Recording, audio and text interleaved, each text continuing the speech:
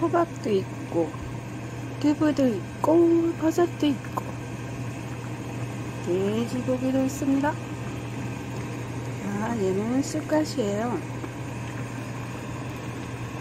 김장김치 요거는 기본 베이스로 들어갑니다.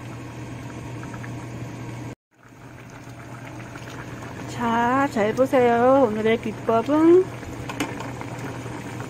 돼지고기 김치찌개 비법. 큰언니 비법입니다. 아시죠? 파김치.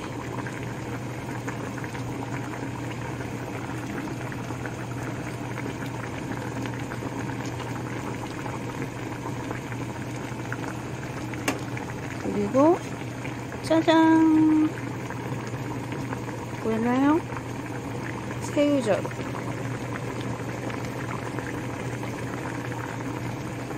그래갖고 끓여주세요. 보글보글 바글바글. 얘는? 어, 김 때문에 안 보이네? 좀 줄이고.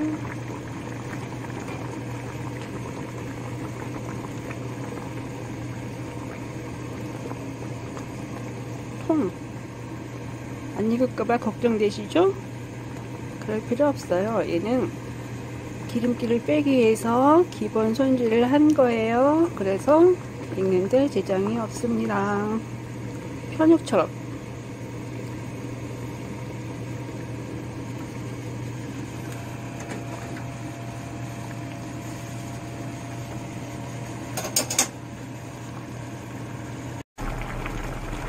고기가 다 익으면 고기 좀 크기로 썰어서 다시 한번 부글부글 끓여주세요.